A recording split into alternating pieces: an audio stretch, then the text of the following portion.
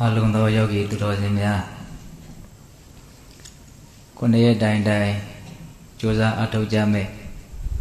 တရားဘာဝနာလုပ်ငန်းပထမဦးဆုံးနေ့မှာဒါဦးဇင်းတို့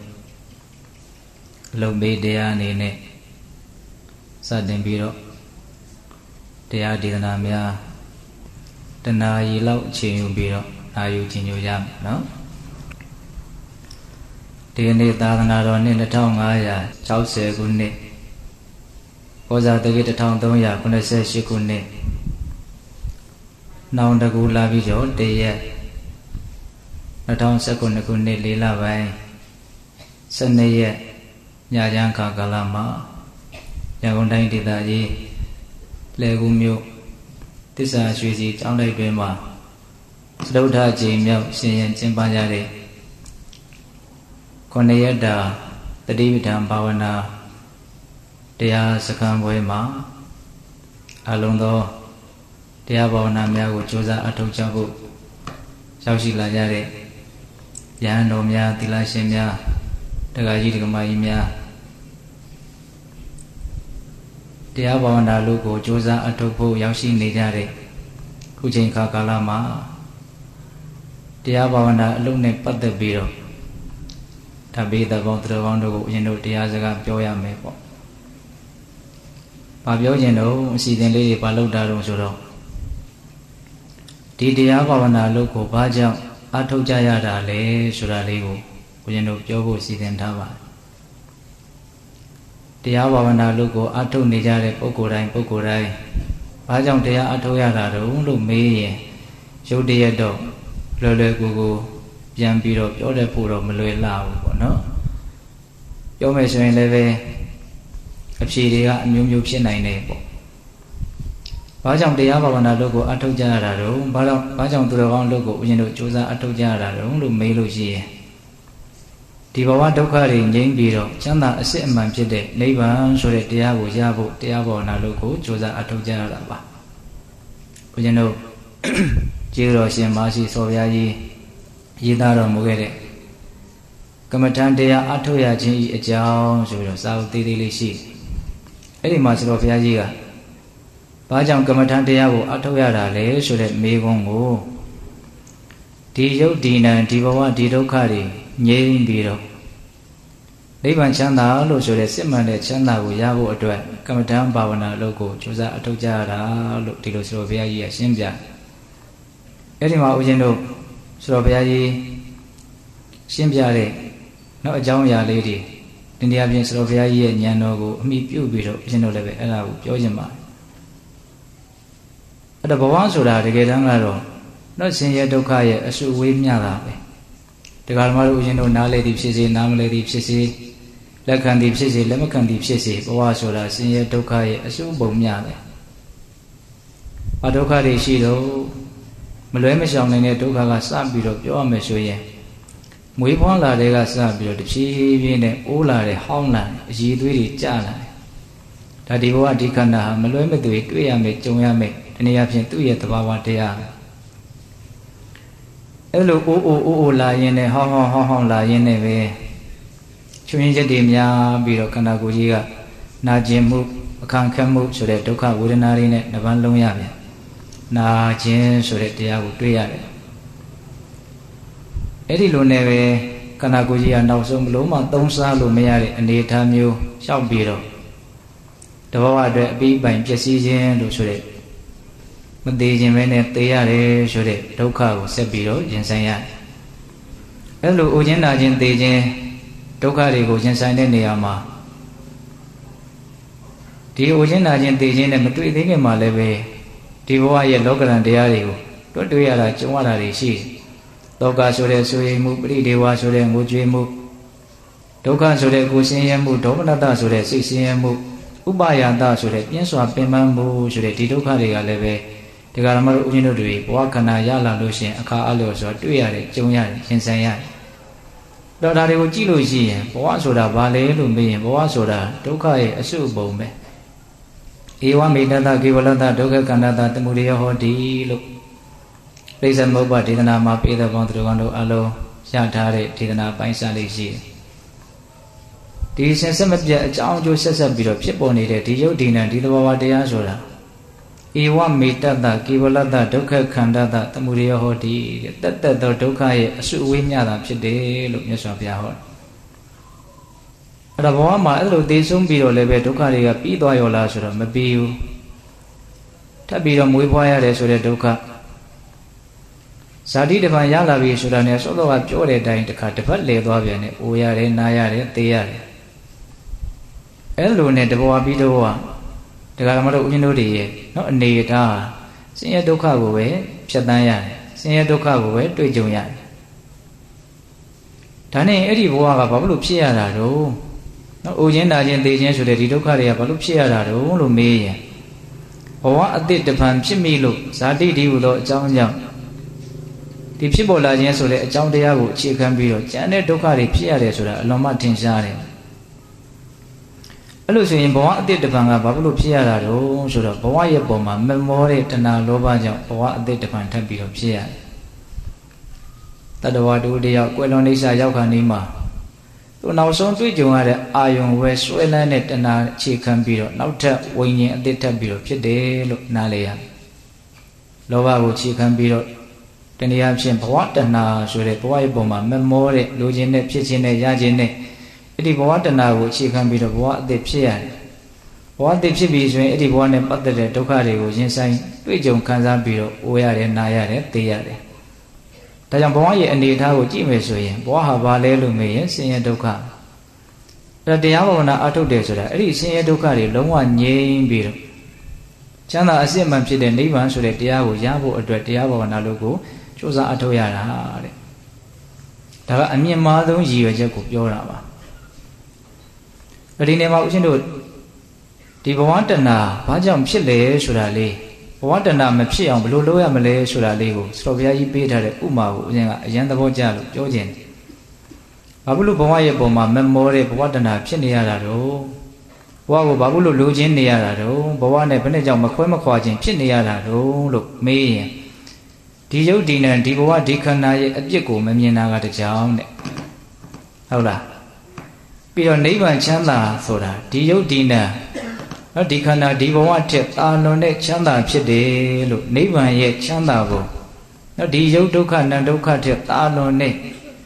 နော်နိဗ္ဗာန်ချမ်းသာကိုမသိမမြင်ခြင်းကတကြောင်တဲ့အကြောင်းဘယ်နှကြောင်းပြတာနှစ်ကြောင်းပြတာနော်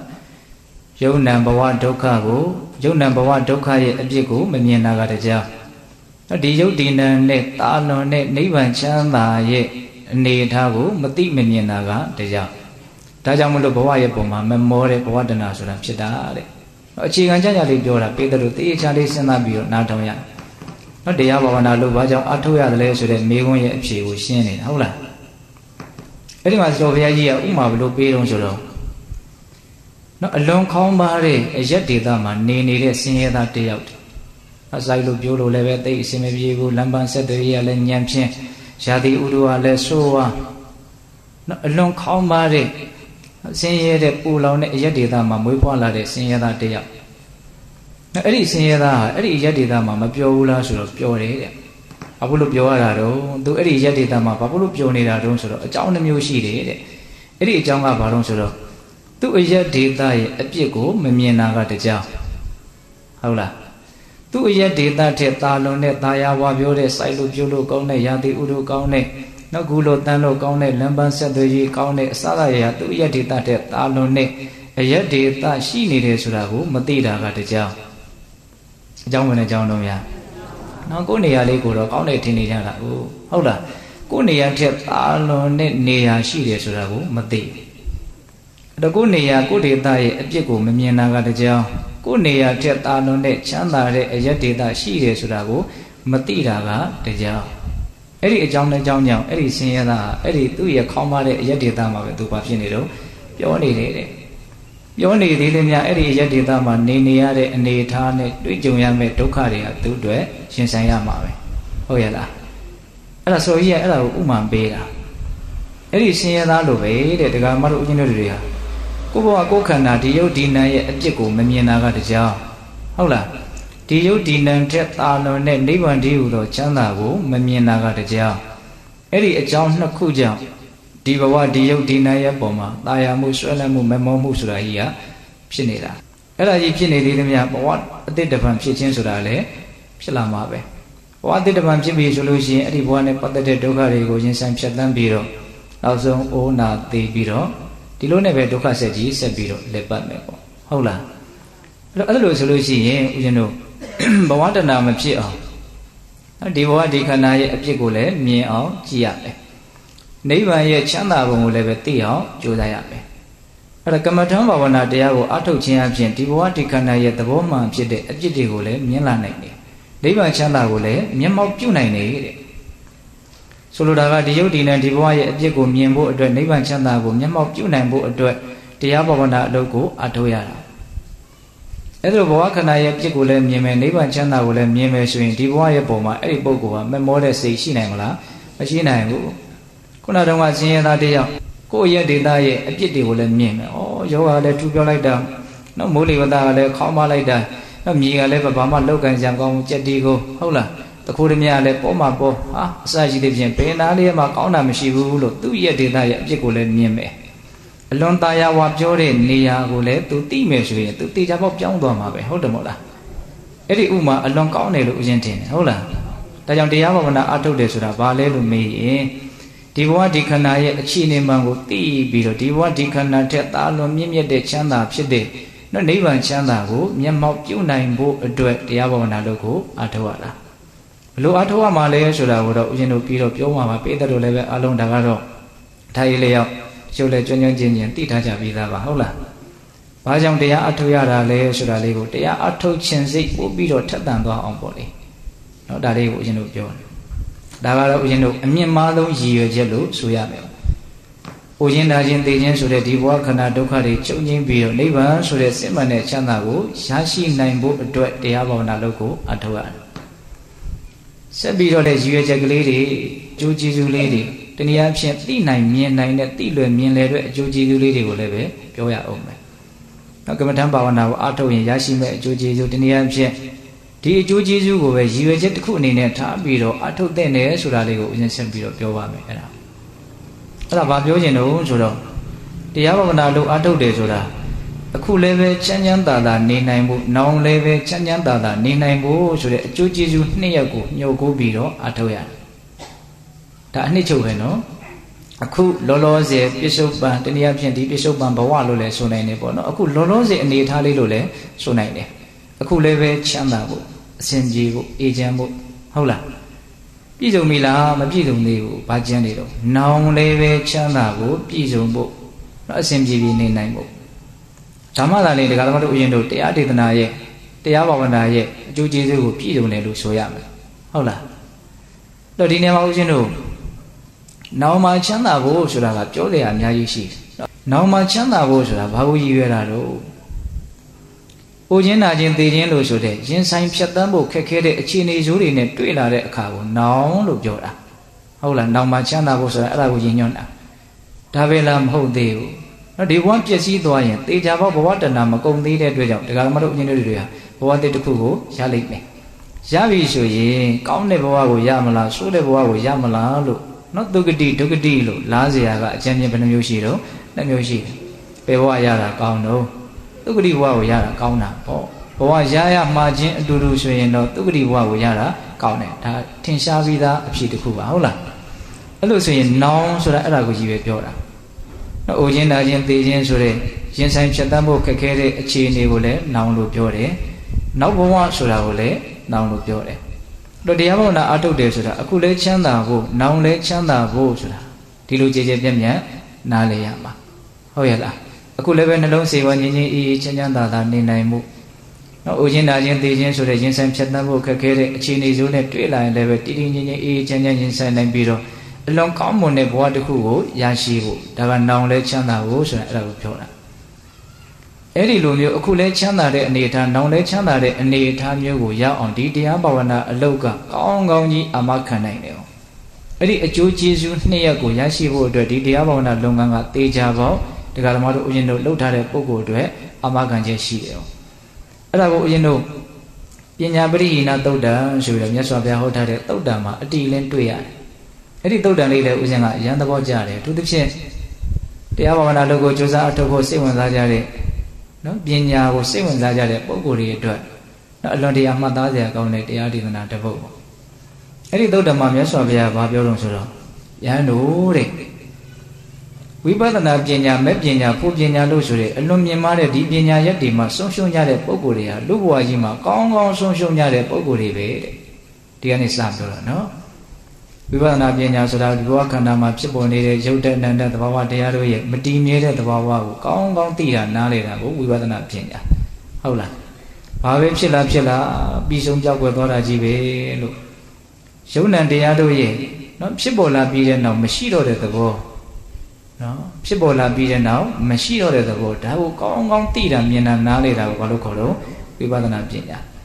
အဲ့ဒီဝိပဿနာပညာကိုရင့်ကျက်အောင်ပွားများလို့ သစ္စာလေးပါးကိုမြန်တွင်ပေါက်ပြီးတော့သိမယ်ဆိုရင်အဲ့ဒီသိတဲ့ပညာကိုမဲ့ပညာဖို့ပညာသူကတော့နိဗ္ဗာန်ချမ်းသာကိုတောင်မျက်မှောက်ပြုနိုင်တဲ့အထိအည်သွေးမြင့်နေပေါ့ဟုတ်လားအဲ့ဒီဝိပဿနာပညာအရိယာမဲ့ပညာကိုမရရှိလိုက်ဖဲနဲ့ဆုံးရှုံးသွားတဲ့ပုံကိုယ်တွေကဘဝမှာကောင်းကောင်းဆုံးရှုံးရတဲ့ပုံကိုယ်တွေလို့မြတ်စွာဘုရားပြောတယ်ကောင်းကောင်းဆိုတဲ့စကားလုံးကိုသုံးတယ်သူပရိဟိနာသူဆိုတာကောင်းကောင်းပဲပရိဟိနာဆိုတာဆုံးရှုံးတာဆုပ်ယုပ်တာဟုတ်လားကောင်းကောင်းဆုံးရှုံးသွားတာဒီနေရာဖြင့် ခေစကားလေးနဲ့ပြောရမှာဆိုတော့ဒီကောင်းတော့ကောင်းကောင်းထိတာပဲကွာလို့တချို့အခြေအနေဆိုးတွေနဲ့တွေ့တော့ရင်ကိုကလည်းတိတ်ပြီးတော့အဲ့ဒီလူကမတည့်ဘူးဆိုရင်အဲ့လိုမျိုးပြောကြတာမရှိဘူးလားကောင်းကောင်းထိသွားတာပဲဟုတ်လားခုလည်းပဲမြတ်စွာဘုရားအဲ့လိုသုံးနှုံးတာပညာချွင်းတဲ့ပုံကိုယ်တွေကဘဝမှာပါတယ်တော့ကောင်းကောင်းရှုံရှုံတဲ့ကောင်းကောင်းဆုပ်ယုပ်တဲ့ပုံကိုယ်တွေဘာပြောလို့လဲတဲ့တိဒိဋ္ဌေဝဓမ္မေဒုက္ခဝိရတိတာဝိကာတံတာဥပယတံတာပရိလာ ကာယတဗေဒပရမရဏဒုက္ခတိပါတိကင်္ခာအကြောင်းပြချက်နှစ်ချက်မြတ်စွာဘုရားပေးတယ်ပညာဆုပ်ယုပ်တဲ့ပုံကိုယ်တွေကကောင်းကောင်းဆုပ်ယုပ်ကြတဲ့ပုံကိုယ်တွေလို့ဘာကြောင့်ပြောရတာတုံးဆိုရင်တဲ့အဲ့ဒီပညာမရှိတဲ့ပုဂ္ဂိုလ်အဲ့ဒီပညာကိုမရတဲ့ပုဂ္ဂိုလ်ဟာတိဒိဋ္ဌိဝဓမ္မေဒုက္ခဝိရတိလောလောဆယ်ပြစ္ဆခမှာကိုပဲအဲ့ဒီလိုဟာစနေရဲနေရလိမ့်မယ်တဲ့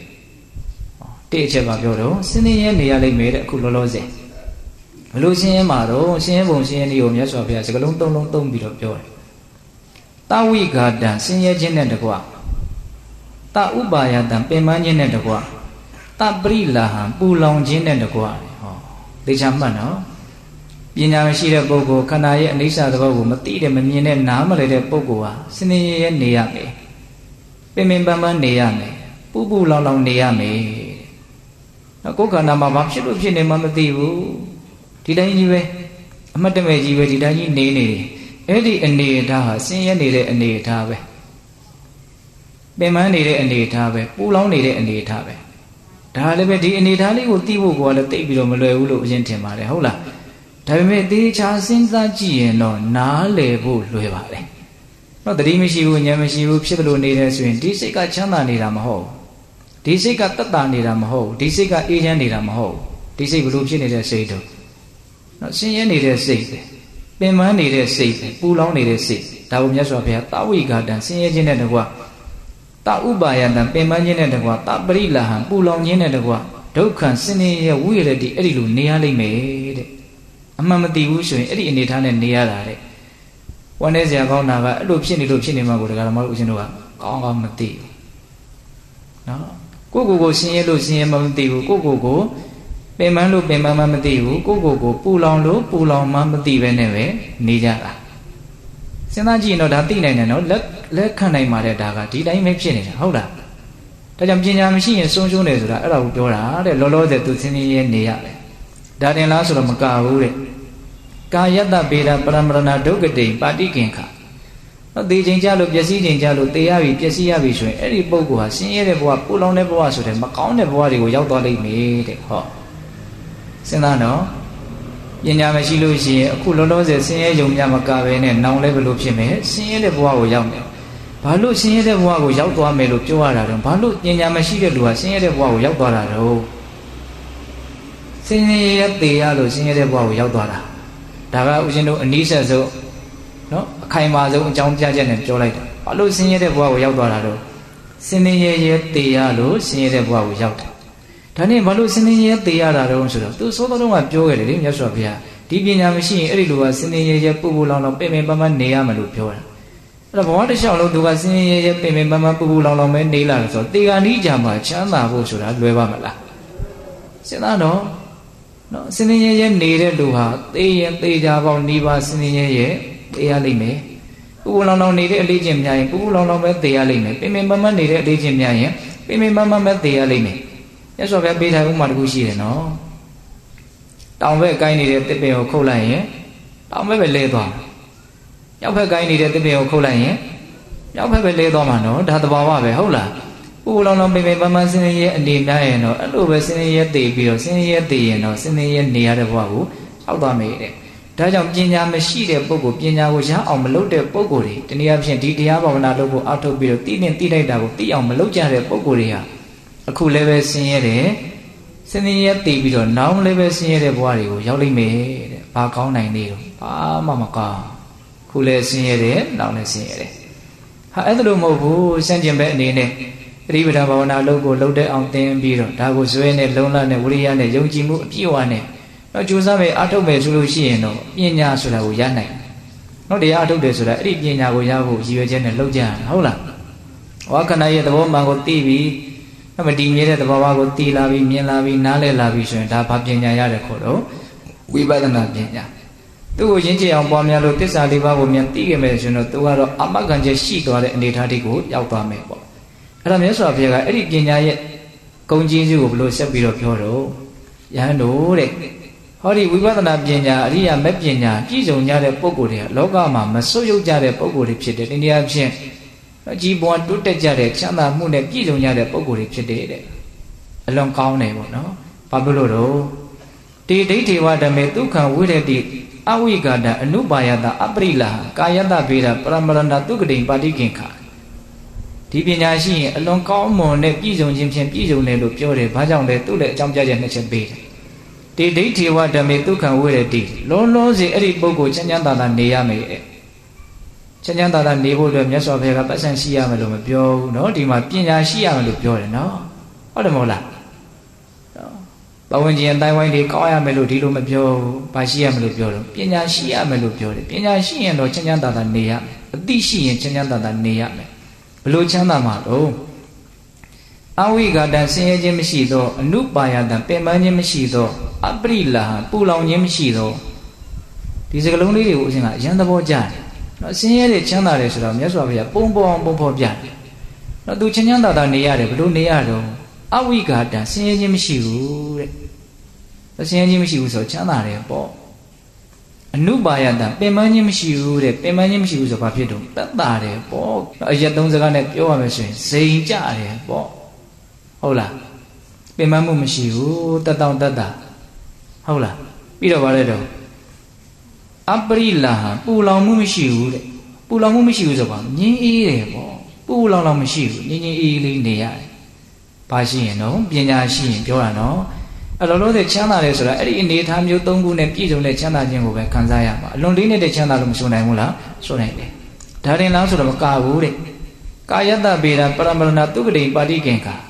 ခန္ဓာကိုယ်ပျက်စီးလို့ပျက်စီးခြင်းကြလို့ပျက်စီးရပြီဆိုတာနဲ့ကောင်းမွန်တဲ့ချမ်းသာတဲ့ဘဝကိုအဲ့ဒီလို ရလိမ့်မယ်ရောက်လိမ့်မယ်လို့တေချာပေါက်မျှော်လင့်အပ်တယ်ပါဠိကင်္ခာမျှော်လင့်အပ်တယ်တေချာပေါက်ရလိမ့်မယ်ပညာနဲ့ပြည့်စုံရင်နောက်ဘဝချမ်းသာတဲ့ကောင်းမွန်တဲ့ဘဝကိုရမယ်လို့ပြောတာဒီနေ့မှာဘဝဆိုရင်ဘယ်ဘဝပဲဖြစ်ဖြစ်ဒုက္ခသစ္စာဆိုတာသိတယ်လို့ကြားဦးပါတယ်ဟုတ်လားသို့တော်လည်းပဲအဲ့ဒါကသစ္စာရှုတော့ကပြောတာပေါ့နော်ဘဝအချင်းချင်းနှိုင်းစာလိုက်ရင်တော့မြင့်တဲ့ဘဝနှိမ့်တဲ့ဘဝဆင်းရဲတဲ့ဘဝချမ်းသာတဲ့ဘဝဆိုတာတွေတော့ရှိမနေဘူးလား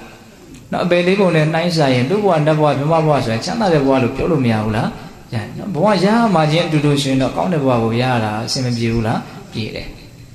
ဘာကြောင့်အဲ့ဒီပုဂ္ဂိုလ်ကကောင်းမွန်တဲ့ဘဝကိုရတာတော့ဆိုတော့ပြောရရင်ချမ်းချမ်းသာသာကောင်းကောင်းမွန်မွန်သေသွားလို့ချမ်းသာတဲ့ကောင်းမွန်တဲ့ဘဝကိုရတာဟုတ်တယ်မဟုတ်လားဒါဘာလို့ချမ်းချမ်းသာသာ तू သေသွားတာလို့ဆိုတော့ချမ်းချမ်းသာသာအနေများလို့ဘဝမှာတတောင်တတတတောင်တတဆိုတာက ဒီစကလုံးရဲ့အတိပ္ပယ်ကလည်းပဲနော်ပြီးပြီးပြင်းပြင်းလေးလေးနက်နက်သိဖို့တော့လည်းပဲလိုမယ်လို့ထင်တယ်နော်အမမလို့ရတာလေးလောက်ကိုပဲတတ်တာတယ်လို့ပြောလို့မရဘူးနော်တကယ်တတ်တာတဲ့အနေအထားကနော်အဆင့်အမျိုးမျိုးရှိမယ်လို့ဦးရင်ထင်တယ်ဟုတ်လားတချို့တရားအထုတ်ရင်းနဲ့ခန္ဓာကိုယ်ကြီးကပေါ်ပြီးတော့နော်လေးနေတာမရှိဘူးလို့တောင်ပြောတယ်ဟုတ်လားသူခန္ဓာဝန်းကိုယ်ကဆိုဘာဖြစ်နေတော့ပေါ်နေတယ်နော်ဒီတိုင်းကြီးနေနေကိုကြည့်လိုက်ရင်တောက်လျှောက်တက္ကမတို့ဦးဇင်းတို့အခုကြည့်လိုက်နော်ဘာတွေ့မလို့ဆိုတော့ဒုက္ခဝေဒနာကိုတွေ့နိုင်တယ်နော် တဏှာကိုရဲ့မသက်တာတဲ့သဘောရှိတယ်နော်ရို့ကြနေတယ်ပင်ပန်းနေတယ်ဒါကြီးကိုထိန်းထားရတယ်ရှိတယ်မို့လားချမ်းသာနေတာလားဆင်းရဲနေတာလားလို့မေးရင်ချမ်းသာနေတာတော့မဟုတ်ဘူးနော်ချမ်းသာနေတာမဟုတ်ဘူးနော်ဆင်းရဲတဲ့ဘက်ကိုအလေးသားမနေဘူးလားအားနေတယ်တေချာကြည့်ကြည့်လိုက်ဟုတ်လားအေးအဲ့ဒါတရားဘာဝနာလို့ကိုအထုတ်လို့တကယ်အသိဉာဏ်ပညာမြင်မလာပြီဆိုရင်အဲ့ဒီပုဂ္ဂိုလ်ကဘယ်လိုဖြစ်တော့နော်တတ်တာတယ်တဲ့ပင်ပန်းမှုမရှိဘူးဒါရင်လားမကဘူး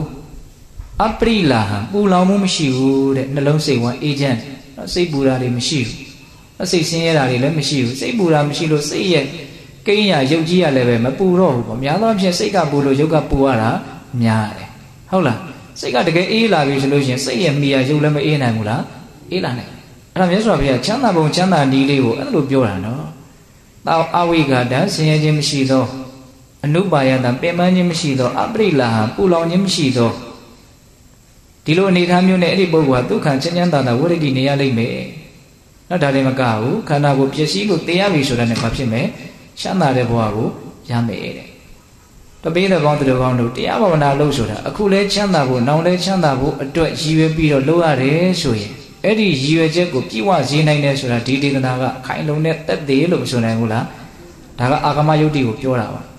နော်တဘာဝယုတ်တိအနေနဲ့ပြောမယ်ဆိုရင်လည်းတရားဘာဝနာလုပ်ဖို့အထုပ်ပြီးတော့ဘဝမှာငြိမ်ငြိမ်ချမ်းချမ်းလေးနော်ကြည်ရတာမြင်ရတာကိုကတခါတည်းနှလုံးစိတ်ဝမ်းကိုကြည်နူးသွားစေနိုင်တဲ့ပုံကိုယ်တွေဟာသေပြီဆိုတော့လည်းပဲချမ်းချမ်းသာသာတည်ပြီးတော့နော်ဘဝမှာတိတ်ခါရှိရှိအဲ့လိုအတုယူစရာကောင်းတော့အောင်နော်ဘဝတရားဘာဝနာနဲ့နေသွားပြီးတော့ဩသူ့မှာနေတော့လဲချမ်းချမ်းသာသာတည်တော့လဲချမ်းချမ်းသာသာဘယ်ဘဝရောက်သွားတယ်ဆိုတာမသိရပေမဲ့လို့ကောင်းတဲ့ဘဝရောက်မှာပဲလို့လည်းပဲတေချာပေါ့မှန်းနိုင်တော့တဲ့လူတွေလောကမှာမရှိဘူးလားရှိတယ် အဲ့ဒါလည်းပါလေခိုင်လုံးတဲ့သက်သေးပဲနော်တရားဘာဝနာလုပ်သည်အခုလဲချမ်းသာသေးတယ်နောက်လဲချမ်းသာသေးတယ်ဆိုတာဒါခိုင်လုံးတဲ့အလုပ်ဒါကြောင့်ပြည်တော်ပေါင်းသူတို့ကောင်းတို့အခုလည်းပဲချမ်းသာမှုရှိအောင်ပြစ္ဆခချမ်းသာကိုရည်ကိုးပြီးတော့လေမျှော်ကိုးပြီးတော့လေတရားဘာဝနာလုပ်ကိုကြိုးစားကြရမယ်။နောင်မှာလည်းချမ်းသာဖို့ဆိုတဲ့ရည်ရွယ်ချက်နဲ့တရားဘာဝနာလုပ်ကိုလည်းကြိုးစားကြရမယ်။အဲ့ဒီနေရာမှာနောင်ဆိုတာလေးကိုလည်းပဲနော်အလေးထားပြီးတော့စဉ်းစားသိခြင်း မရောက်သေးပါဘူးဆိုပြီးတော့ခပ်ပေါ်ပေါ်လေးတော့လှုပ်ထားလို့မသိတော့ဘူးပေါ့နော်။မရောက်သေးတော့လည်းပဲတေချာပေါက်ရောက်လာမှာနော်။မရောက်တော့ဘူးမဟုတ်ဘူးနော်မရောက်သေးတာပဲရှိတယ်။ဟုတ်လား။အကြီးကြီးငယ်ငယ်သိချင်းတရားဆိုတာကတော့ရှောင်လို့မရဘူးလေနော်နာချင်းတရားကလည်းပဲရှောင်လို့မရပါဘူးဟုတ်လားဒီနေ့မှာဦးဇင်းတို့ပေးတဲ့ဘောင်းတော်အောင်တို့အလွန်ဟိုစဉ်းစားစရာကောင်းတဲ့လက်ဆိုပဲပြောပြတယ်နော်တရားဘာဝနာရဲ့စွမ်းရည်တတိအနေထားလေးတွေကိုဦးဇင်းနဲ့ပြောကြည့်ခြင်း လက်ဆိုဘုရားဘာပြောတော့ဆိုတော့အိုးလာတဲ့နားလာတဲ့အခါမှာနော်သူတော်ကောင်းတရားအလုတ်ကိုလုပ်ဖို့ဆိုတာမလွယ်ဘူးလို့အဲ့ဒီလိုဟောတာတစ်ချက်ရှိတယ်အိုလာနာလာတဲ့အခါမှာသူတော်ကောင်းတရားကိုမြန်သိထားတဲ့အသိရှိမယ်ဆိုရင်တော့အဲ့ဒီပုဂ္ဂိုလ်ဟာအိုခြင်းနာခြင်းကသူ့ကိုကောင်းကောင်းမနှိမ့်ဆက်နိုင်ဘူးဆိုတဲ့အဓိပ္ပာယ်မျိုးနဲ့အိုလာနာလာတဲ့အခါမှာတရားသိတဲ့ပုဂ္ဂိုလ်ဟာချမ်းချမ်းသာသာနေနိုင်တယ်လို့ဒီလိုဟောတာလည်းရှိတယ်။ဒါကဒီစကားနှစ်ရက်ကဒကာသမားတို့ဦးဇင်းတို့အိုကြရနာကြရမယ်တေးကြရမယ်ပုဂ္ဂိုလ်တွေအတွက်တော့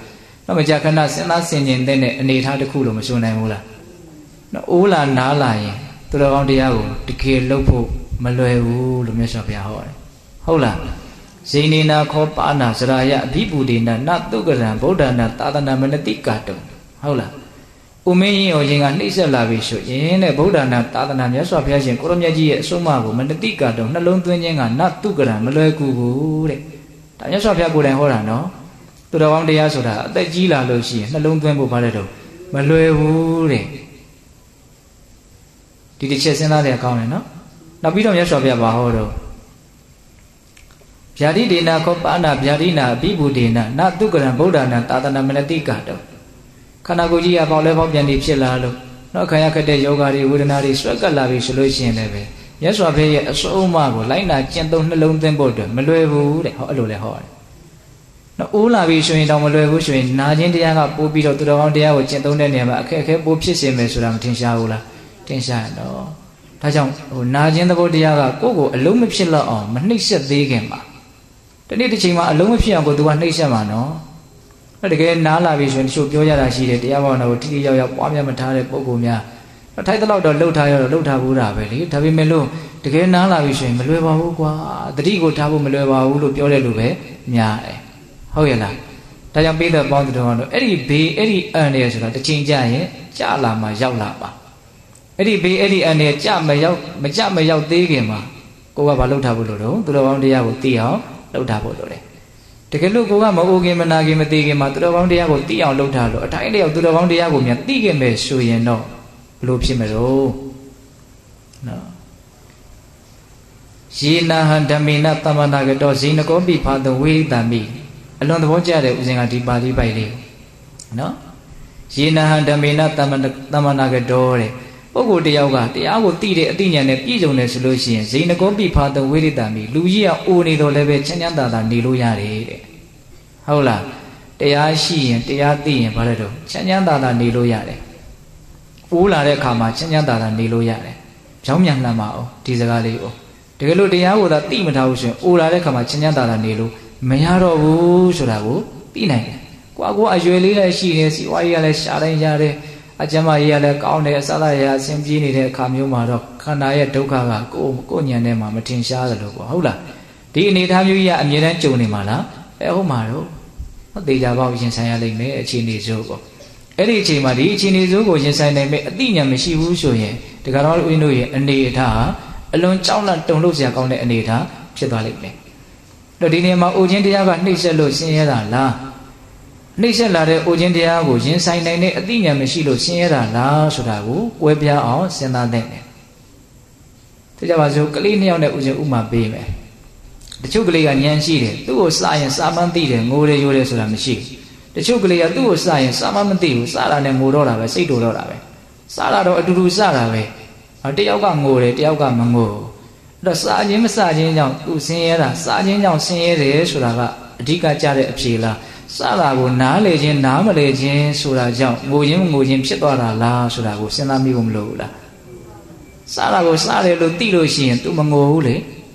တကယ်တမ်းငိုရတယ်ဆိုတာစားလို့ငိုရတယ်ဆိုတဲ့အဖြေထက်စားတာကိုစားမမသိလို့ငိုရတယ်ဆိုတဲ့အဖြေကပို့ပြီးတော့မမှန်ဘူးလား အဲ့လိုပဲအိုလို့ဆင်းရဲတယ်ဆိုတဲ့နေရာမှာနာလို့ဆင်းရဲတယ်ဆိုတဲ့နေရာမှာအိုလို့နာလို့ဆင်းရဲရတယ်ဆိုတာတဲ့အဲ့ဒီအိုရာနာရာကြီးကိုရင်မဆိုင်နိုင်တဲ့နော်နားလည်မှုမပေးနိုင်တဲ့မသိတဲ့ဉာဏ်ပညာမဲ့မှုကြောင့်ဆင်းရဲရတယ်ဆိုတာပို့ပြီးတော့မမှန်ဘူးလားမှန်တယ်အဲ့ဒါကမှတော့ခက်တာကအဲ့ဒီဟာကိုကိုကတွန်းလှန်နိုင်တဲ့ခန္ဓာရည်ရှိတဲ့အနေအထားကိုရှာဖွေဖို့တိတ်မစင်သားဘူးလူတွေကမအိုဖို့စဉ်းစားတယ်မနာဖို့စဉ်းစားတယ်အိုခြင်းတရားကိုမအိုအောင်သူတို့ပြုပြင်ခြင်းနဲ့ပြောင်းလဲခြင်းနာခြင်းသဘောတရားကိုမနာအောင် ပြုပြင်ပြောင်းလဲခြင်းတယ်တကယ်ဆိုရင်အိုးလာနားလာတာကိုရင်ဆိုင်နေတဲ့အည်သူပဲကိုကမလုပ်ကြမှာတော့ရအောင်ရှားကြရမှာမအိုးအောင်မနာအောင်လုပ်လို့မရဘူးเนาะဆိုကြပါစို့စီးစင်းနေတဲ့မြစ်ကြီးကိုပြောင်းပြန်ပြန်ပြီးတော့စီးစင်းစေခြင်းနဲ့ဆိုရင်ဒါရွတ်သွတ်မှုပဲရစ်ကတော့နေရရှိသွားမှာပဲဒါသူ့လမ်းကြောင်းသူသွားတာပဲဒီခန္ဓာကိုယ်ကြီးကလည်းပဲအိုခြင်းနာခြင်းသိခြင်းဆိုတဲ့လမ်းကြောင်းကိုပုံမှန်စီးနေတဲ့မြစ်ကြီးတစ်စင်းပဲဒါကိုကပြန်ဆန်တက်စေခြင်းနဲ့ဆိုရင်ဒါကိုယ့်ရဲ့ဘာတော့ရွတ်သွတ်မှုပဲမိုင်မဲမှုပဲ ခုလူတွေကအဲ့ဒီမိုင်မဲမှုနဲ့နေတာနော်ဟုတ်တယ်မဟုတ်လားအိုးလာပြီအိုးချင်းကြလို့အိုးလာပြီဆိုသူတို့ဘာလုပ်တော့မအိုးချင်းအောင်ဆောင်ရတယ်ပေါ့နော်အိုးတာကိုမကြိုက်ဘူးတကယ်ဆိုရင်အိုးတာကိုအိုးတဲ့တိုင်းထားပြီးတော့ကိုယ်စိတ်ထဲမှာနားလည်နိုင်မှုလက်ခံနိုင်မှုနဲ့အဆင်ပြေအောင်မလုပ်ရမလို့ရင်ဆိုင်ရမှာဟုတ်တယ်မဟုတ်လားကိုမြတ်စွာဘုရားအဲ့ဒါကိုပြောတာအိုးလာတဲ့အချိန်မှာတော်ကောင်းတရားကိုသိရင်ချမ်းချမ်းသာသာနေနိုင်တယ်အဲ့ဒီလိုပဲတဲ့အနာယောဂနှိမ့်ဆက်လာတဲ့အခါမှာလည်းပဲနော် ယေနဟဓမေနသမဏဂတောဗျာတိတောပိဖာတဝိရိတာမိအလောက်နာနေနာနေတရားလာတကယ်သိမယ်ဆိုရင်အဲ့ဒီပုဂ္ဂိုလ်ဟာချမ်းချမ်းသာသာနေလို့ရတယ်အဲ့ဒီနာခြင်းသဘောတရားကပို့ပြီးတော့ဥစဉ်ကခက်ခဲမယ်လို့ထင်တယ်ဟုတ်လားနားလာပြီဆိုတော့ तू အစင်စမပြတ်ဘာဖြစ်နေလဲဆင်းရဲနေတော့တာပဲလေသူပတ်စံရှိတာဘေးမှာရှိနေတာပဲကိုကောင်းတယ်ထင်တာတွေဘလောက်ပဲကောင်းတယ်ထင်တာတွေရှိနေသူကသူရှိနေတာပဲကိုကနားနေတာကနားနေတာကြီးပဲဒီနာတာကြီးကိုဘယ်ရာကမှလာပြီးတော့လဲရှော့ပေးလို့မရ ဟုတ်တယ်မဟုတ်လားအဲ့ဒီအချိန်မှာရင်ဆိုင်နိုင်ရင်ရင်ဆိုင်နိုင်မှာမှမရင်ဆိုင်နိုင်ဘူးဆိုရင်ဘာဖြစ်မလို့ဒုက္ခဖြစ်တော့တာနာလို့ဒုက္ခဖြစ်ရတာကတကြောင်နာတာကြီးကိုရင်ဆိုင်နိုင်လို့ဒုက္ခဖြစ်ရတာကတကြောင်ဘယ်ဟာကပို့ပြီးတော့ကြီးကျယ်တဲ့ဒုက္ခဖြစ်မယ်ထင်တော့မနာကျင်တာကနာတာကိုရင်ဆိုင်နိုင်တာကပို့ပြီးတော့ကြီးကျယ်တဲ့ဒုက္ခနော်နာတာကိုရင်ဆိုင်နိုင်တယ်မနာကျင်ဘူးလို့လည်းမရှိဘူးဒါသူ့တဘာဝပဲအဲကိုင်းငါနာကျင်သည်ဖြစ်စေမနာကျင်သည်ဖြစ်စေဒါကြီးကပြောင်းလဲသွားမှာပေါ့နာကျင်ရောက်ရင်နာမှာပဲလို့သိတယ် နာကျင်တယ်လို့ဆိုလိုတာမဟုတ်ဘူးမနာကျင်ဘူးလို့လည်းပဲမရှိသင့်ဘူးတကယ်တမ်းကကိုနာကျင်သည်ဖြစ်စေမနာကျင်သည်ဖြစ်စေတကယ်တော့နာရက်တဲ့ခန္ဓာကိုယ်ကြီးကနာမှာပဲဒါပေမဲ့ဒကာဓမ္မတို့အချင်းတို့ကဘယ်ဘက်ကိုပဲအမြင်နင်းတော့မနာကျင်ဘူးမနာကျင်ဘူးဆိုတာကိုနင်းတယ်မနာကျင်ဘူးဆိုတာကိုကိုကကင်ထားတော့နားလာပြီဆိုတဲ့အခါကျတော့ဘာဖြစ်တော့စัจကျင်ဘက်တွေဖြစ်သွားတယ်ပေါ့စဉ်းစားတယ်မကောင်းဘူးလားကောင်းတယ်နော်တကုစိတ်သဘောထားလေးကကိုယ့်ကိုချမ်းသာမှုဆင်းရဲမှုမှာအဓိကမူတည်နေတယ်ဆိုတာလေးကိုပုံပေါ်အောင်ပြောနေတာပါ တကူကဘလို့သဘောထားနဲ့ဒါတွေကိုရင်ဆိုင်မှာတော့တရားဘာဝနာအလုပ်အထုတ်ထားတဲ့ပုံကိုယ်တွေကတော့သဘောထားတွေအများကြီးမှန်ကန်မှုလေးနဲ့မှုမရှိနိုင်ဘူးလားရှိနိုင်တယ်နော်သဘောထားမှန်ကန်မှုလေးနဲ့မှုရှိလာရင်ဒီပြဿနာတွေကသူ့အတွက်ပြဿနာမဟုတ်သလိုတောင်ဖြစ်မသွားနိုင်ဘူးလားဖြစ်သွားနိုင်တယ်ဆိုရပါစို့ဒါဦးဇင်းတို့မြင့်မြင့်မာမာပြောကြည့်တာပေါ့ဥမာတစ်ခုရဟန္တာရှင်မြတ်တွေလည်းပဲအိုတာပဲနာတာပဲတေတာပဲလေသူတို့ဘာစိတ်ဒုက္ခရောက်တော့အဒုက္ခမှမရောက်ဘာဖြစ်လို့တော့သူတို့ရဲ့ရှုမြင်ပုံကအယံမြင်မှမှန်ကန်သွားတာ ခင်ဗျားတို့ကြုတ်တို့ကြတော့ဘာဖြစ်တော့ဒုက္ခအကြီးကျယ်ရောက်တယ်အခုနာကြည့်လေတောက်လျှောက်ဆေးရုံသွားရမှာပဲတောက်လျှောက်អော်ရဟိရမှာပဲဟုတ်တယ်မဟုတ်လားအာဒီအနာယောဂါကမကြော်နိုင်တဲ့တောင်တလုံးလိုဖြစ်သွားပြီငါမကြော်နိုင်တော့ငါသေမသေတော့မလားလို့အဲ့လိုမြန်သိရမယ်ဆိုတော့အကြီးအကျယ်ဘာဖြစ်သွားမလဲတုံးလုံးချောက်ချသွားမယ်ပေါ့ဒါပါလဲဆိုတော့ကိုယ့်ရဲ့ဒီအိုခြင်းနာခြင်းသေခြင်းပုံမှာရှုမြင်ပုံကဘလို့ဖြစ်နေတော့လွယ်မှားနေတယ်ဟုတ်တယ်မဟုတ်လားဒါကြောင့်အိုရာနာရာသေတာဆိုတာကခန္ဓာရလာရင်ရှောင်လို့မရဘူး တော့ဒါကိုရင်ဆိုင်နေတဲ့အည်သွေးရှိအောင်လှုပ်ထားဖို့ကတန်လေကိုယ့်ရဲ့အရေးကြီးတဲ့အလုံးဆိုတာမထင်ရှားဘူးလားထင်ရှားတယ်ဒါကြောင့်နောင်လည်းပဲချမ်းသာစေလိမ့်မယ်ဆိုတာကိုဒီလိုကြည်ကြည်ပြန့်ပြန့်နားလည်ဖို့မလိုဘူးလားဒါတရားဘာဝနာလုပ်ရပါပြောတော့စွမ်းရည်တတိပေါ့ဟုတ်ရဲ့လားအဲ့တော့ဦးဇင်းတို့နတ်တရားဘာဝနာလုပ်ရစွမ်းရည်တတိတနည်းအားဖြင့်တရားအထုတ်ခြင်းရဲ့ရည်ရွယ်ချက်တနည်းအားဖြင့်ဘာကြောင့်တရားအထုတ်ရတာလဲဆိုတဲ့မိကွန်းရဲ့အဖြေတွေလို့လည်းပဲဆိုနိုင်ပါတယ်သုံးချက်ပြောလိုက်တယ်ဦးဇင်းဟုတ်လား ကျန်တဲ့အချိန်လေးမှာဦးဇင်းတို့တရားအထုတ်ပုံအထုတ်နည်းလေးပြောမလို့ဦးဇင်းကအချိန်ချန်တာဟုတ်လားခုပြောခဲ့တာလေးကိုဦးဇင်းပြန်ပြောနှစ်ချုပ်ကြည့်မယ်နော်ဘာကြောင့်သူတော်ကောင်းတရားကိုစူးစမ်းအထောက်ရတာတော့ဒီခန္ဓာရဲ့အကြောင်းကိုဘာကြောင့်သိအောင်တတိနဲ့ဒလဇက်ကပ်ပြီးတော့နော်သိနေအောင်နေတဲ့နည်းကိုစူးစမ်းရတာတော့လို့မေးရင်ဒီဘဝဒီခန္ဓာရဲ့အပြစ်ကိုမြင်ပြီးတော့နိဗ္ဗာန်ချမ်းသာရဲ့ချမ်းသာဘုံကိုမျက်မှောက်ပြုပြီးတော့ဒီဘဝခန္ဓာရဲ့ပုံမှာတွေ့တာမမိုးတဲ့တဏှာဆိုတဲ့ဘဝတဏှာကိုချုပ်ပြီးတော့ တော့ဒုက္ခတွေချုပ်ငြိမ်းပြီးတော့စစ်မှန်တဲ့နိဗ္ဗာန်ချမ်းသာကိုရဖို့အတွက်တရားဘာဝနာလုပ်ကိုအထောက်ရတာဒါကအမြင့်မားဆုံးရည်ရွယ်ချက်ပေါ့နော်ဟုတ်လားတနည်းအားဖြင့်တရားဘာဝနာရဲ့အမြင့်မားဆုံးသောအကျိုးကျေးဇူးဆိုရင်လည်းပြောလို့မရဘူးလားရည်ရွယ်ချက်လည်းဖြစ်ရမှာနော်အဲ့ဒါကဒါတရားဘာဝနာရဲ့တေချာပေါက်ဖြစ်စေမဲ့အကျိုးကျေးဇူးလို့လည်းနားလည်ရမယ်ယုံကြည်မှုလည်းရှိရမယ်ဟောဟောနောက်တစ်ချက်ဥစဉ်ပါဆက်ပြောတော့တရားဘာဝနာကိုစ조사အထုတ်လို့ရှိရင်အခုလည်းပဲချမ်းသာတယ်နောင်လည်းပဲချမ်းသာမယ်ဟုတ်လား တရားဘာဝနာလို့ကိုအာမထုတ်ရင်အခုလည်းပဲဆင်းရဲမယ်နောင်လည်းပဲဆင်းရဲမယ်အခုဆင်းရဲတယ်အခုချမ်းသာတယ်ဆိုတာကိုအကျေရှင်းပွဲမရှိပြီမလို့နောင်ချမ်းသာလိမ့်မယ်နောင်ဆင်းရဲလိမ့်မယ်ဆိုရင်နောင်ဆိုတာနဲ့ပတ်သက်ပြီးတော့ဦးဇင်းအများကြီးပြောလိုက်ဘူးလားနောင်ဆိုတာမှပြောတာတော့အိုးလာနားလာသေလာတဲ့အခါပြီးတော့နောက်ရရှိမယ်ဘဝဒါပါလေနောင်ပေါ့ဟုတ်တယ်မို့လားဒါကြောင့်နောင်ဆိုတာကိုလည်းပဲအလေးထားဖို့မလိုဘူးလားလိုတယ်နော်။ အောင်ဆိုနောင်ဆိုတာကြီးကိုတခါမှတော့ဦးဇင်းတို့တွေကဇက်သိမ့်နိုင်တဲ့အနေထားမရှိသေးဘူးဟုတ်လားဘာလို့ဆိုအခုဖြစ်နေတာကိုနားမလည်တဲ့အတွက်ကြောင့်အခုဖြစ်နေတာပုံမှာတွေ့တာမဲ့မောမှုကရှိနေတယ်ဒါကြောင့်အနာဂတ်နောင်ဆိုတာကြီးကတေချာပေါက်ဆက်ဆက်ဆက်ဆက်ပြီးတော့တွေ့ရလိမ့်မယ်ကြုံရလိမ့်မယ်ဟုတ်လားဒါကြောင့်အခုလည်းပဲချမ်းသာဖို့နောင်လည်းပဲချမ်းသာဖို့ဆိုတဲ့ဒီအကျိုးကျေးဇူးဟာအလွန်တရာမှလိုချင်စရာရချင်စရာအကျိုးကျေးဇူးလို့မဆိုနိုင်ဘူးလားဆိုနိုင်တယ်ဒီလိုမျိုးရည်ရွယ်ချက်တွေနဲ့ဒီလိုမျိုးအကျိုးကျေးဇူးရှိတဲ့တရားဘောနာလို့ကိုအထောက်ကြတာ ဒါကိုစိတ်ထဲကယုံကြည်တယ်ဆိုရင်ဘာလို့ခေါ်မလို့တရားတရားပေါ့နော်သူတော်ကောင်းတရားဒီဒီအကျိုးကျေးဇူးကိုတေချာပေါက်ပေးလိမ့်မယ်လို့ယုံကြည်ရင်ဒါပါလေတရားတရားအဲ့ဒီတရားတရားကဘာကိုဖြစ်စေမလို့ထင်တော့ကြိုးစားမှုဝရိယကိုဖြစ်စေလိမ့်မယ်နော်တရားတရားပေါ်မှာမူတည်ပြီးတော့ဝရိယကအကြီးအသေးဖြစ်တာအဲ့ဒီဝရိယကဘာကိုဆက်ဖြစ်စေမလို့ထင်တော့တတိကိုဆက်ဖြစ်စေလိမ့်မယ်နော်ဘလို့ကြိုးစားမှာတော့တတိနဲ့ကြိုးစားမှာဆိုတတိရှိအောင်သူမွေးမြူမယ်ယုံကြည်မှုထက်တန်ရင်ဝရိယထက်တန်မယ်ဝရိယထက်တန်ရင်တတိထက်တန်မယ် တတိထက်တန်ရင်ဘာတွေထက်တန်လာမယ်ထင်တော့တမာတိထက်တန်လာမယ်တည်ငြိမ်မှုစွဆိုင်မှုရှိလာတယ်တမာတိထက်တန်လာရင်ဘာထက်တန်လာမယ်ထင်တော့ပညာရှင်းရှင်းလင်းလင်းသိလာတယ်မြင်လာတယ်နားလည်လာတယ်နော်တမာတိကမှန်မလို့ပဲမြင်ကွင်းကိုသူဘာလုပ်ပေးမယ်တော့အသေးစိတ်သိအောင်လုပ်ပေးလိမ့်မယ်ဟုတ်လားဒါကြောင့်ဦးဇင်းတို့အခုပြောလိုက်တာဒါဘုံ၅ပါးပဲလေအခုပြောနေတဲ့တရားဘာဝနာရဲ့စွန့်ရည်တတ္တိကိုယုံကြည်တယ်ဆိုရင်စေတနာမြတ်သုံးပါးကိုယုံကြည်ရဲလို့ပြောတာ ਨੇ တူတူပဲ ဟုတ်တယ်မို့လားဒါပါခေါ်တော့တရားတရားအဲ့ဒီတရားတရားထက်ရင်ထက်လို့ကြိုးစားအထုံးမှုထက်မယ်ကြိုးစားအထုံးမှုထက်ရင်ထက်တော့တတိတွေစိတ်မယ်တတိတွေစိတ်ရင်စိတ်တော့တမာတိတွေကောင်းမယ်တမာတိတွေကောင်းရင်ကောင်းတော့အမြင်ဟာကြည်လင်ပြတ်သားမယ်သဘောပေါက်ရလားဗျအေးဒါကဦးဇင်းတို့တော့ဘာကြောင့်တရားဘောနာလို့ကိုအထောက်ရတယ်လဲဆိုတဲ့အပိုင်းလေးကိုပြောတာအဲ့လို့ဆိုရင်ဦးဇင်းတို့ဒီခုနှစ်ရက်တာမှာဘလို့ကြိုးစားအထောက်ကြမလို့အဲ့ဒီထဲမှာတခါမှအာမထုတ်ဘူးသေးတဲ့လူတွေပါတယ်လို့ နော်တရားဘာဝနာလုပ်ကိုစွဲစွဲမြဲမြဲအထုတ်ပြီးတော့အတိုင်းလျောက်နော်သိမြင်နားလည်းရင့်ကျက်မှုရှိနေတဲ့လူတွေလည်းပါတယ်ပေါ့အဲ့လိုမျိုးကိုလမ်းကြောင်းလေးနဲ့ကိုတန်းနေအောင်ရှောက်နေအောင်ရှောက်တက်ပြီးသားပုံကိုယ်တွေအတွက်တော့ဘာမှပြောစရာမလိုပါဘူးရှောက်နေကြလမ်းလေးတိုင်းဆက်ပြီးတော့ရှောက်နေဖို့ပါပဲသဘောပေါက်ရဲ့လားလမ်းလေးကမှန်းနေပြီဆိုရင်ဘာလို့ဖို့လို့တော့ငွေကြောင်မချင်းရှောက်အောင်ရှိတော့တာပဲလေနောက်ထပ်လမ်းလေးထက်ရှားနေစရာမလိုဟုတ်တယ်မဟုတ်လားဒီလမ်းပဲလေဒါကြောင့်ရှောက်နေကြတဲ့ပုံကိုယ်တွေ နော်ကျွမ်းကျင်နေတဲ့ပုံကိုယ်တွေနီလန်တက်မှတ်မှန်ကန်ဆိုအထုတ်တက်နေတဲ့အထုတ်နေကြပုံကိုယ်တွေအတွက်တော့ဦးဇင်းတော်ကဘာမှပြောကြမလို့ကိုယ့်အကိုရှောက်နေကြလမ်းကြောင်းလေးတိုင်းနော်ဇွဲလုံးလာဝရိယထက်ထက်တန်းတန်းနဲ့တရားတရားကိုတွတ်တက်စေပြီးတော့ကြိုးစားနေဖို့ပါပဲဟုတ်လားအဲ့တော့ပြောချင်တာကဘာပြောချင်တာတော့အကျွမ်းကျင်ညာသေးတဲ့ပုံကိုယ်တွေအခုမှစပြီးတော့အထုတ်မယ်ဆိုတဲ့ပုံကိုယ်တွေအတွက်တော့ပြောရလိမ့်မယ်ဟုတ်လားအဲ့ဒါကိုဦးဇင်းတို့သဘောကျတာကဘာလဲဆိုတော့မဟာသတိပဋ္ဌာနာတုတ်တန်ကြီးပါပဲ နော်မဟာသတိပဋ္ဌာနာတုတ်တန်ကြီးမှာလာတဲ့အကြောင်းအရာလေးတွေကိုပဲအထုတ်နီးအနေနဲ့ဒါဒကာဓမ္မတို့ကိုဦးဇင်းတို့ပြောတာပါဟုတ်လားတော့ထိုင်နေတဲ့အချိန်မှာအထုတ်မယ်ဒါလေးကရင်စပြောမယ်နော်ဘယ်လိုအထုတ်မလို့ထိုင်နေတဲ့အချိန်မှာဒီဝင်လေထွက်လေကြောင့်ဖြစ်ပေါ်နေတဲ့ထိမှုကိုဒလဇက်သိနေအောင်ကြိုးစားနေဖို့ပဲဒါအနှစ်ချုပ်ကဒါပဲဝင်လေဝင်တိုင်းနာသီပြတနေရာမျိုးထိခိုက်ပုတ်တိုက်ပြီးတော့ဝင်သွားမယ်ထွက်လေထွက်ရင်လည်းပဲနာသီပြတနေရာကိုထိခိုက်ပုတ်တိုက်ပြီးတော့ထွက်သွားမှာပဲ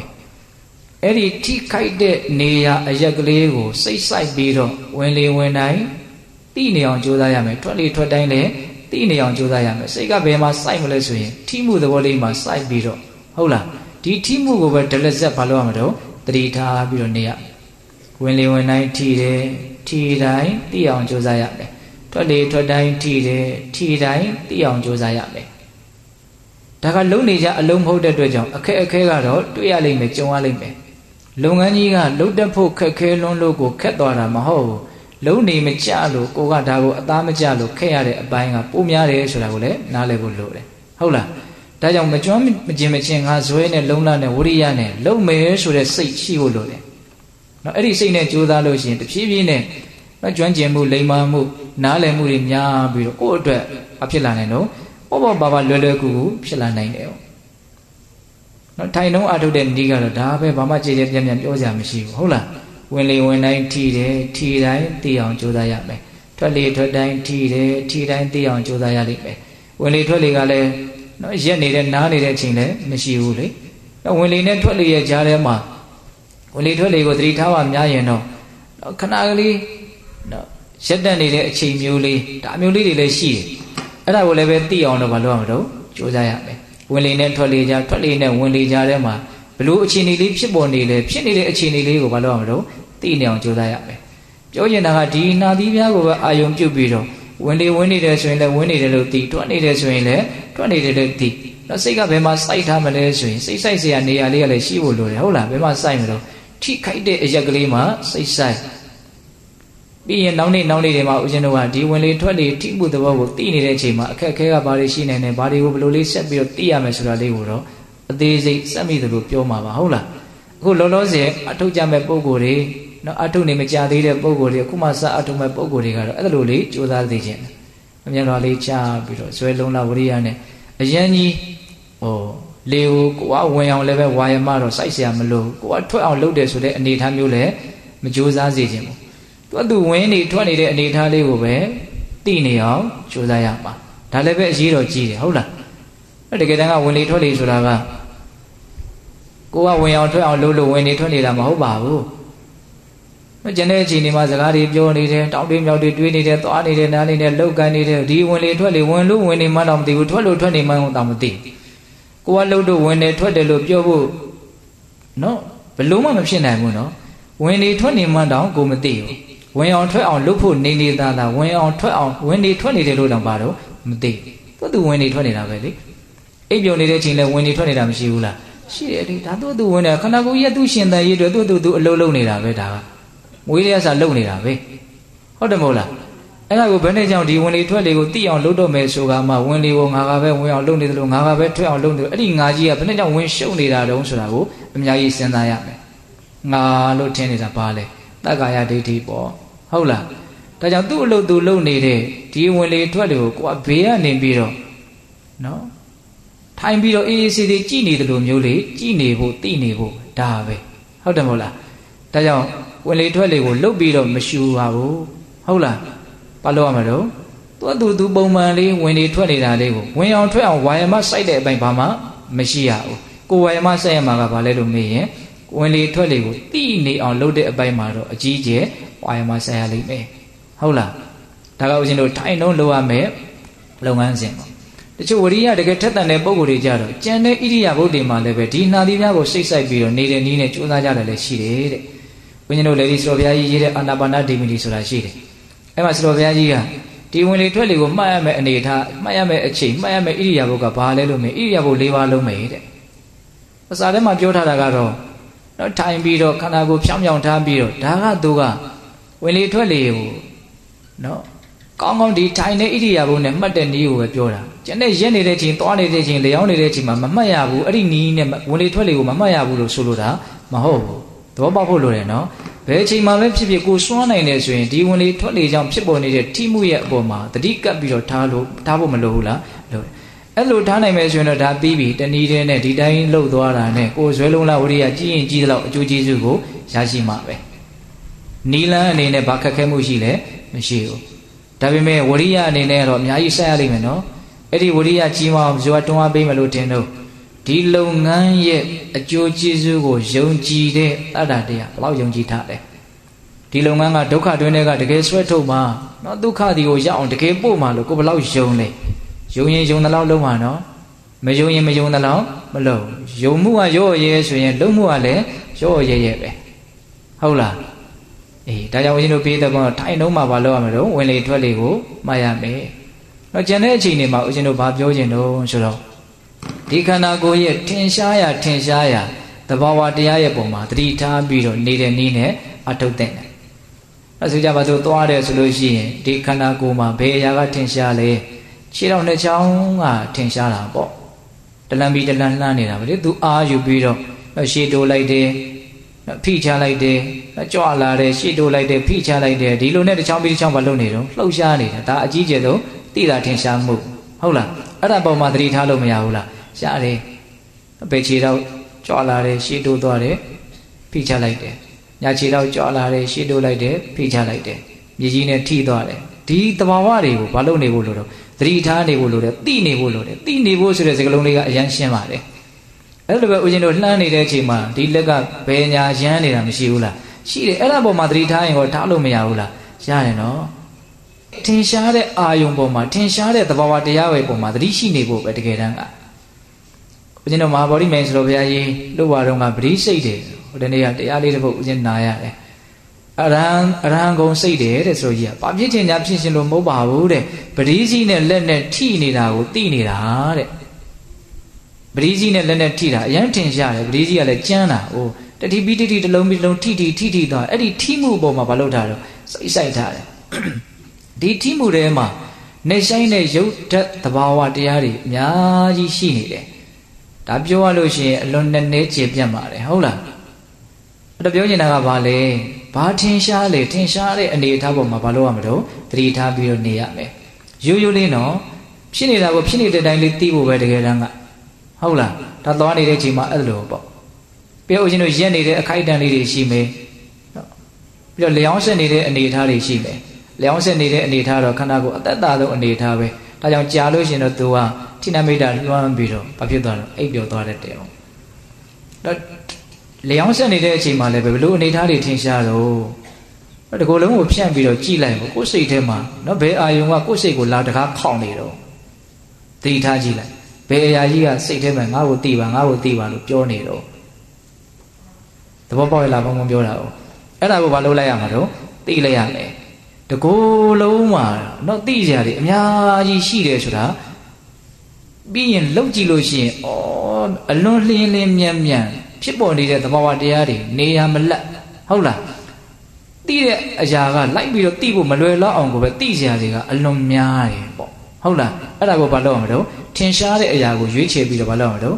သိနေအောင်ကြိုးစားရမယ်သဘောပေါက်ရဲ့လားအေးအစားတောက်တွေစားတဲ့တောက်တဲ့အခါမှာလည်းဘာတွေထင်ရှားတော့ဘလို့တွေဖြစ်တော့ဒါကတော့ဦးဇင်းတို့ရုပ်ပိုင်းဆိုင်ရာအနေထားပေါ့နော်ကျန်တဲ့အချိန်တွေမှာဦးဇင်းတို့နောက်ထပ်နံတရားတွေကိုသိအောင်လုပ်တဲ့အပိုင်းကလည်းစိတ်ဝင်စားတဲ့အကောင်းတယ်ဒါကတော့စစချင်းအထုတ်ခါစားမှာတော့เนาะအရင်ကြီးလွယ်ကူမယ်လို့မထင် ကိုယ့်ရဲ့အတွေးတွေကိုအမိဖမ်းဖမ်းပြီးတော့သိနေအောင်လုပ်တဲ့နည်းပေါ့ စိတ်ဓာတ်နုပဒနာလို့လည်းမဆိုနိုင်ဘူးလားဆိုနိုင်တယ်နော်ဗာလေတွေးနေတော့တွေးနေတဲ့နေရာမှာစကလုံးနေအနေနဲ့တွေးတာရှိတယ်ပုံသဏ္ဍာန်တွေကိုမြင်ပြီးတော့နော်ဘဇုအကြောင်းကိုတွေးလိုက်တယ်ဆိုရင်အဲ့ဒီဘဇုပုံကြီးကပေါ်နေတာပဲမို့လားစိတ်ထဲမှာအဲ့ဒါပါလေအဲ့အတွေးပဲလေဟုတ်တယ်မို့လားတယောက်အကြောင်းကိုတွေးလိုက်တယ်ဆိုရင်အဲ့ဒီလူရဲ့ပုံကြီးကဘာဖြစ်နေတော့ပေါ်နေတယ်နော်သူ့ရဲ့ပြောဟန်ဆိုဟန်ကြီးဘာဖြစ်နေတော့ပေါ်နေတယ်နော်တနေရာရောက်သွားတယ်အဲ့ဒီနေရာလည်းမြင်နေရတဲ့စိတ်ထဲမှာဒါပါတွေတုံးလို့မေးရင်အတွေးတွေပဲ ဟုတ်လားအဲ့ဒီအတွေးတွေဘာမှရေရာမှုတော့မရှိဘူးတခုပြီးတခုတွေးနေတာပဲဘာရလည်းမဟုတ်တွေးနေတာအဲ့ဒီအတွေးတွေကိုဘာလုပ်အောင်တော့လိုက်ပြီးတော့အဲ့ဒီတွေးနေတဲ့အတိုင်းလေးပဲလိုက်ပြီးတော့သိအဲ့ဒါလေးကဘာလေးလုံးဆိုလိုက်ပြီးတော့သိနေအောင်ကြိုးစားရမယ်သဘောပေါက်ရဲ့လားအဲ့ဒါလည်းစိတ်ဝင်စားတဲ့အရန်ကောင်းတယ်တခုပြီးခုတွေးနေတာပဲနော်အစီအစဉ်လည်းမကြဘူးတွေးချင်တာတွေးတယ်ကြုံရကြပန်းတွေးနေတာတ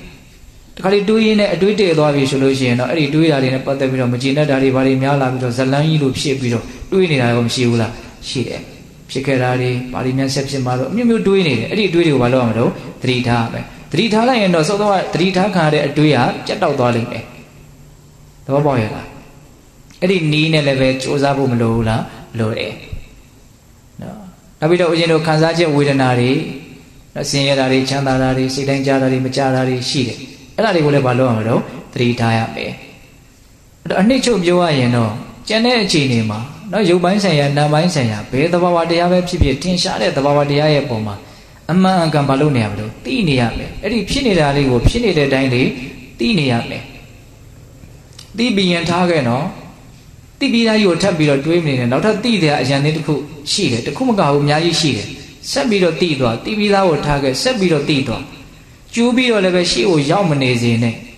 သိပြီးသားကြီးကိုနောက်ကျပြီးတော့လည်းပဲတွေးပြီးတော့မနေရနဲ့ဟုတ်လားအတိတ်ကိုလည်းမပြန်နဲ့အနာဂတ်ကိုလည်းမကြံနဲ့ဆိုတဲ့အတိတ်ပဲပေါ့ခုလုံးလုံးနဲ့ဖြစ်နေတာလေးကိုပဲတိတိတိတိပြီးတော့သွားရမှာစိတ်ကြီးကနောက်ကျပြီးတော့လည်းမကြံရင်နဲ့နောက်ကျကြံရင်ဘာဖြစ်မလို့အတွေးတွေဖြစ်သွားပြီဟုတ်တယ်မလားဖြစ်ခဲ့တာကိုပဲတွေးလိုက်တဲ့သဘောမျိုးလို့မဆိုနိုင်ဘူးလားအရှိကိုကျိုးရောက်နေပြီဆိုရင်လည်းဘာဖြစ်နေပြီတော့အတွေးတွေပဲလေဟုတ်တယ်မဟုတ်လားအဲ့ တော့တကယ်တကယ်ကဘယ်လိုဖြစ်အောင်သွားမှာတော့ဖြစ်နေတဲ့တရားလေးကိုဖြစ်နေတဲ့အတိုင်းလေးသိသွားရမယ်နောက်ထပ်ဆက်ဖြစ်နေတာရှိတယ်ဆက်သိသွားပါဆက်သိသွားပါဒီတိုင်းနဲ့နော်ဖြစ်နေတဲ့အနေအထားနဲ့သိနေတဲ့အနေအထားကိုအမှန်ဝင်ကြဖြစ်အောင်ကိုယ့်အကိုကျွမ်းကျင်အောင်လုပ်ရမှာတော့ဒါကပြောပြဖို့လည်းအရင်တော့ခက်ပါတယ်ဟုတ်လားအဲ့တော့ဦးဇင်းတို့ပြည်တော်ကောင်းသူတော်ကောင်းတို့ဘလို့အားထုတ်ရမလဲဆိုတဲ့အပိုင်းလေးကိုဒါအချင်းမြင်လေးပြောပြတာပါဟုတ်လားထိုင်နေတဲ့အချိန်မှာဝင်လေဝင်တိုင်းထီတယ်ထီတိုင်းသိအောင်ကြိုးစားရမယ် ထွက်လေထွက်တိုင်းထီတယ်ထီတိုင်းသိအောင်ကြိုးစားရမယ်နော်ဝင်အောင်ထွက်အောင်လုံလဝါယမမဆိုင်ပါနဲ့ဝင်နေထွက်နေတာလေးကိုပဲဘေးကနေပြီးတော့တက်တက်မဲ့ထိုင်ကြည့်နေတဲ့လူတယောက်သဘောမျိုးနဲ့နော်ကင်လွတ်လွတ်ကင်းကင်းလေးကြည့်အဲ့ဒီသဘောလေးဘလို့လေးဖြစ်နေတော့စိတ်ဝင်စားမှုအပြည့်နဲ့ကြည့်ရမယ်ဟုတ်လားဒီလိုသတိထားခြင်းရဲ့အကျိုးကျေးဇူးကိုယုံကြည်မှုထက်သန်အောင်စောစောကပြောခဲ့ပြီနော်စောစောကပြောခဲ့တာတွေကတရားတရားကိုနှိုးဆော်တဲ့စကားလုံးတွေကြီးပဲ တရားတရားဆိုတာလည်းပဲမှန်မှန်ကန်ကန်သိတဲ့ဉာဏ်ပညာလည်းရှိမှတရားတရားဖြစ်တာဟုတ်လားဩဒါတွေကဒီလိုဟုတ်တာပေါ့ဩယုံကြည်မှုဘာဖြစ်လာတော့တိုးလာတယ်အဲ့ဒီယုံကြည်မှုကိုအခြေခံပြီးတော့ဝရိယနဲ့တတိကိုဒလဇတ်ထားတဲ့အလေးချင်းကိုကြိုးစားရမယ်အဲ့ဒါဆိုလို့ရှိရင်တမာတိတို့ပညာတို့ဖြစ်ထွန်းမလာနိုင်ဘူးလားလာနိုင်တယ်အဲ့ဒါအဲ့ဒီနည်းနဲ့ကြိုးစားရမယ်ပေါ့နော်ဒါကတော့ဦးဇင်းတို့အခုပြောလိုက်တာနော် တရားဘာဝနာလုပ်ဖို့ဘာကြောင့်အားထုတ်ရတာလဲဘယ်လိုအားထုတ်ရမှာလဲဆိုတဲ့ဒီမေခွန်းတစ်ခုရဲ့အဖြေလို့ဆိုနိုင်တယ်ဟုတ်လားဘာကြောင့်အားထုတ်ရတာလဲဘယ်လိုအားထုတ်ရမှာလဲခုပြောခဲ့ပြီနော်အဲ့ဒါလေးကိုအဲ့လိုဆိုလို့ရှိရင်ဘာကြောင့်အားထုတ်ရတယ်ဆိုတာကိုလည်းပဲအနှစ်ချုပ်သိကြပြီဘယ်လိုအားထုတ်ရမလဲဆိုတာကိုလည်းပဲအနှစ်ချုပ်သိကြပြီဟုတ်လားဒီခန္ဓာကြီးရဲ့အကြောင်းကိုမှန်မှန်ကန်ကန်သိအောင်လုပ်ကိုပဲတတိထားပြီးတော့တတိနဲ့ကြည်နေတဲ့အလေးချင်းကိုစူးစမ်းကြရတာ ဒါမှသူ့ရဲ့အပြည့်အနာစာကိုလည်းမြင်နိုင်မယ်ဟုတ်လားနောက်ဆုံးအသိဉာဏ်မြင့်လာပြီဆိုရင်နိဗ္ဗာန်ချမ်းသာကိုမျက်မှောက်ပြုတဲ့အနေထားများရောက်မယ်ဆိုရင်ဒီဘဝရဲ့ပုံမှာတွေ့တာမမောတဲ့လောဘတွေကသူ့အပိုင်းနဲ့သူအမြင့်ပြတ်ချုပ်မသွားနိုင်ဘူးလားချုပ်သွားနိုင်တယ်။နော်ဆင်ရသားဟာသူ့အရက်ဒေသရဲ့နော်အပြည့်အနာစာတွေကိုမြင်မယ်ဆိုလို့ရှိရင်တာယာဝါပြောတဲ့နေရာကိုလည်းသိမယ်ဆိုလို့ရှိရင်သူဒီနေရာကိုမလုပ်သွားနိုင်တော့စွန့်သွားနိုင်တယ်ပေါ့။အဲ့လိုဆိုရင်သူမချမ်းသာနိုင်ဘူးလားချမ်းသာနိုင်တယ်။ခုလည်းပဲဒကာတော်တို့ဦးဇင်းတို့တွေတွေ့အဲ့ဒီဆင်ရသားဟာ သူ့အရက်ဒေသရဲ့အပြစ်နာစာကိုသူသိအောင်ကြည်နေတယ်လို့မျိုးသိအောင်ကြိုးစားတယ်လို့မျိုးကိုယ်ခန္ဓာကိုယ်ကြီးရဲ့အပြစ်နာစာဒီယုတ်ဒီနံတို့ရဲ့အပြစ်နာစာကိုဘာလို့အောင်ကြိုးစားသိအောင်ကြိုးစားတာဒါကြောင့်ပိဿဘောင်းသူတော်ကောင်းတို့တရားဘာကြောင့်အာထုတ်ရတယ်လဲဘယ်လိုအာထုတ်ကြမလဲဒါလေးကိုဦးဇင်းတို့ပြောပါတယ်နော်ဆက်ပြီးတော့ဦးဇင်းဗာပြောခြင်းတော့ဆိုတော့တတိပေးစကားလေးပေါ့နော်ဒါကတော့ဒီနေ့ပြောရမယ်ဟုတ်လားခုနှစ်ရက်တိတိပိဿဘောင်းသူတော်ကောင်းတို့တရားဘာနာလို့အာထုတ်မယ်ဆိုပြီးတော့နော်ထက်တဲ့တရားတရားနဲ့ ဒါရောက်လာကြတယ်နော်အဲ့တော့ဦးဇင်းတို့ပြောချင်တာတတိပေးစကားပြောချင်တယ်ကဘာပြောချင်တော့ဆိုတော့နံပါတ်1စကားမပြောစေချင်ဟုတ်လားစကားတွေမပြောစေချင်ဘူးနော်ကိုကအညိုလေးနဲ့အဖြူလေးနဲ့ဝတ်ထားတယ်။အဲ့ဒီအချိန်လေးမှာတရားဘာဝနာလုပ်ကိုအာထုတ်မဲဆိုတဲ့အသွင်သဏ္ဍာန်လေးကိုလည်းယူထားတယ်။အိမ်ကလည်းပဲတရားဘာဝနာလုပ်ကိုအာထုတ်မဲရှုပြီးတော့ထွက်လာတယ်။နီးစရာတွေကလည်းကိုယ်တရားဘာဝနာလုပ်သူသွားအာထုတ်မလို့တယ်စခန်းပွဲဝင်မလို့တယ်လို့သိထားတယ်။ ဟုတ်လား။အဲ့လိုဆိုရင်ကိုကစကားတွေပြောနေလို့အဆင်ပြေပါမလား။အပြေဘူးဒီခုနှစ်အတွင်းလေးတော့မလုပ်လိုက်ဖို့လို့တော့စောင့်စည်းနိုင်ဖို့လိုတယ်။စကားမပြောခြင်းကတီလာကိုအများကြီးပို့ပြီးတော့စင်ကြယ်စေတယ်။သီလကိုစင်ကြယ်အောင်ကြိုးစားခြင်းသည်တမာတိကိုမြန်မြန်တည်စေတယ်တမာတိမြန်မြန်တည်ခြင်းသည်ပညာကိုမြန်မြန်ဖြစ်စေတယ်အကြောင်းအကျိုးတွေအကုန်ဆက်ဆက်နေတာနော်စကားတွေကများပြီဆိုရင်စကားထဲမှာဘာဖြစ်လာလဲအမှားတွေပါမယ်အမှားမပါအောင်တောင်မှအကျိုးမရှိတာတွေကတော့တေချာပေါက်ပါလိမ့်မယ် အကျိုးမရှိတာကိုပြောမိပြီဆိုရင်ဒုသရိုက်တရားထဲမှာဘာဒုသရိုက်ဖြစ်တော့တံဖပလာပဟုတ်တယ်မဟုတ်လားဝစီဒုစရိုက်မဖြစ်ဘူးလားဖြစ်တယ်နော်ဒုစရိုက်ဒုစရိုက်သမားကြီးဖြစ်မှမသိဘာဖြစ်သွားလဲဖြစ်သွားနိုင်တယ်ဒါကြောင့်စကားမပြောစီခြင်းပါဘူးအဲ့ဒါကိုတော့ဦးဇင်းတို့ပြင်းပြင်းထန်ထန်ကိုပြောခြင်းပါတယ်ဟုတ်လားနောက်ထပ်ပြောရင်ကအိန္ဒိယရပြောဆိုပါနေထိုင်ပါတဲ့နော်မဖြစ်လို့ပြောပြီဆိုရင်လည်းပါတော့အိန္ဒိယရပြောရမယ်နော် နေတယ်ဆိုတာကတော့နေနေရမှာပဲသူကမနေခြင်းလို့မရဟုတ်လားအဲ့တော့နေရမယ့်သူတော့ဘယ်လိုနေမလို့အိန္ဒိယရ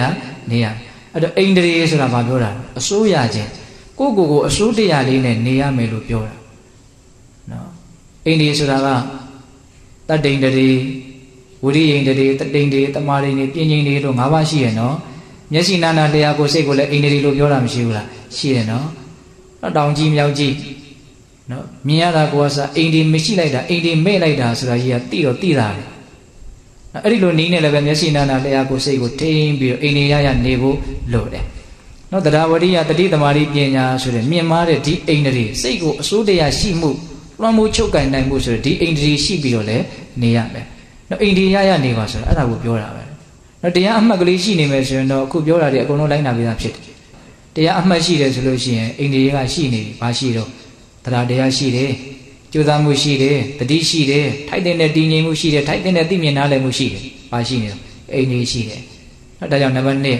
လိုနေရမလို့အိန္ဒြေရရနေရမယ်။အိန္ဒြေရရပြောရမယ်။ဟုတ်လားနောက်နံပါတ်3ပါပြောမလို့ဆိုနော်ဖုံးတွေသိမ့်ထားပါမည်တဲ့နောက်ဒီမှာမိမှာဆိုလို့ဦးဇင်းရေးထားတာအဲ့ဒါအခုတရားဟောပြီးလို့ရှိရင်ဖုံးတွေအကုန်လုံးအပ်ရမယ်နော်ဒီခုနှစ်ရက်အတွင်းကိုဘာလုပ်ရမလို့ နော်ကြိုးစားမယ်အားထုတ်မယ်ဒီဖုံးတွေကအများကြီးအနှောက်အယှက်ရှိတယ်ဟုတ်လားနော်ဒီမှာအရေးပေါ်ပြောမယ်ဆိုရင်ပြောလို့ရတဲ့ဖုန်းနံပါတ်လည်းရှိတယ်အိမ်ကိုလှမ်းဆက်လို့လည်းကိုယ်မှမဆက်မဖြစ်ဖြစ်ရဆက်ရမယ့်အနေအထားရှိရင်လည်းဆက်ဆက်ဖုန်းရှိဒါပေမဲ့ဒကာမတို့ရဲ့ဖုန်းတွေကိုတော့အကုန်လုံးဘာဖြစ်ရမလို့အပ်ရမယ်နော်အဲ့ဒီဥစ္စာအဲ့ဒီစီကံကိုဘာလုပ်မလို့လိုက်နာရမယ်ဟုတ်လားအေးအဲ့တော့ဦးဇင်းတို့အဓိကပြောချင်တာကတော့အဲ့ဒါပါပဲ